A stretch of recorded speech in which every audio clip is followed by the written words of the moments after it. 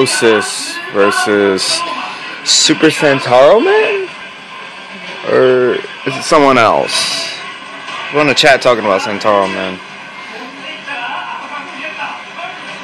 This is definitely Neurosis, I know that much.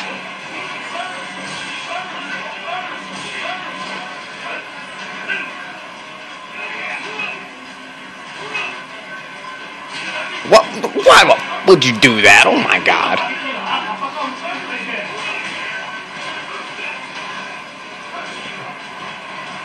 He could have threw that. Some jumping bra.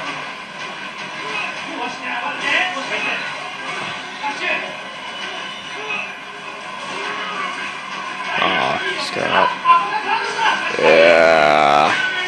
I hate when Bisons think because they lose the life lead, they need to take these unnecessary risks. A good player is not going to leave himself open to get hit with those risks.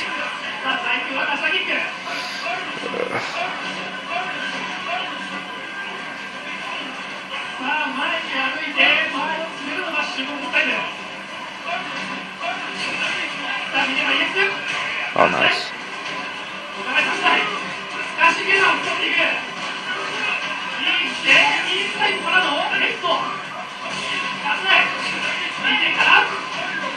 Oh no.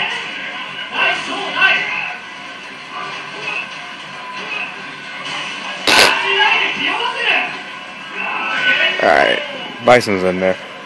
Okay. I don't know if Doger is in this tournament.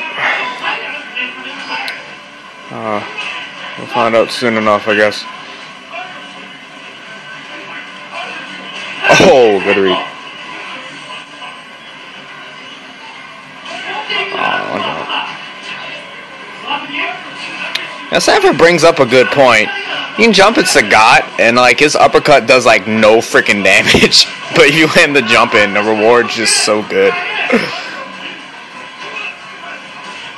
but like Bison doesn't really need to jump at Sagat because he has such good movement, and he also has EX stitches to punish the fireball.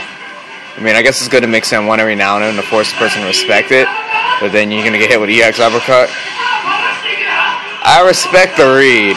I really respect the read, but it didn't work out for him. um.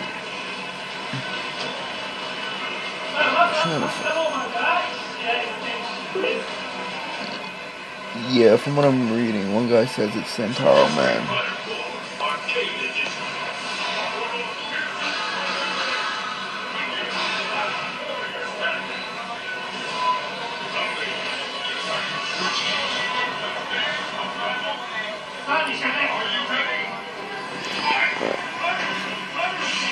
Sorry for the bad camera angles. I'm also I'm streaming this through um, through the Twitch app on Xbox and looking at the chat on the computer. Right.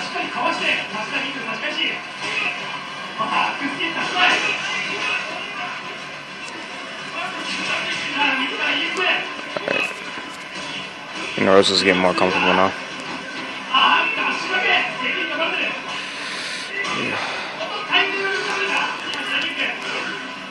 can definitely tell Neurosis's plays like he doesn't have a lot of the new the Bison tech. He's still playing old school, basic Bison. You know I mean, he's still got the fundamentals.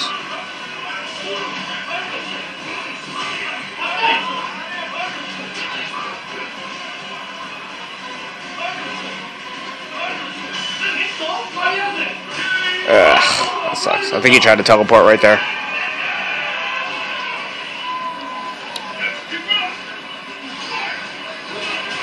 Oh.